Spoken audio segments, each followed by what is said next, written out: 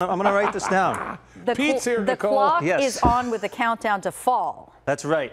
Sunday, Sunday, Sunday, Nicole. Yes. It's a big day. Yeah. That's the official start of fall. So I kind of broke down some stats and some fun facts about I fall. like I can it. hear Paul Okay. applauding. Yes. Oh this Oh my is gosh. fantastic. Well, this is like a celebration here in Yeah. Phoenix because, you know, we finally cooled down a little Please. yes, finally. bit. Although, we'll show you Finally. the seven day. Oh my goodness. So yeah, let's officially talk about when this starts. It's Sunday at 5:43 in the morning. That's when fall officially starts. Now, why do we have such an exact start time with this? Well, that's because we have the Earth's tilt uh, situated in such a way that on the first day of fall, the sun is directly over the equator. Now, when you take the Latin of equinox, it actually means equal night. So technically, we'd expect equal amounts of daylight and darkness. However, it doesn't work like this exactly. There's a little bit of skewedness to this data. When we look at the sunrise and sunset time of the first day of fall on Sunday, notice 617 is our sunrise time, sunset 624. So actually,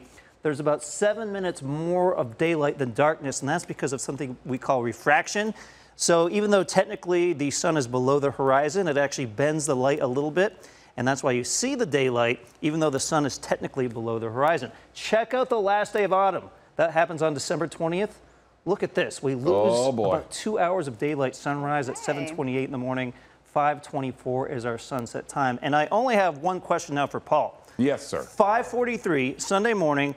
Will you be at my place for my autumnal equinox party? Are you going to I- there?